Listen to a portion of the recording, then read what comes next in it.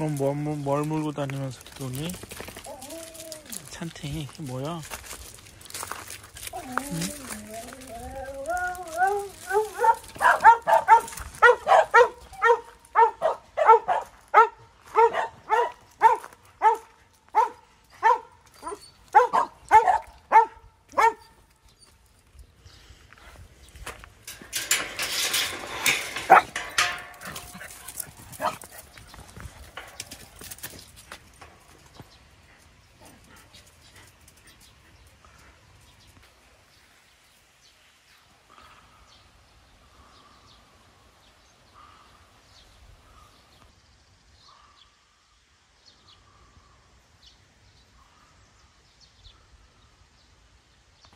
오늘은 풀먹방 파티냐?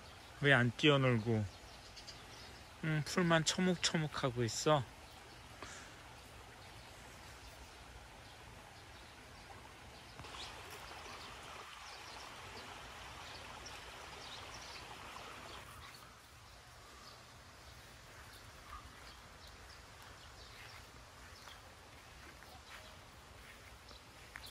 오늘은 풀먹방입니다.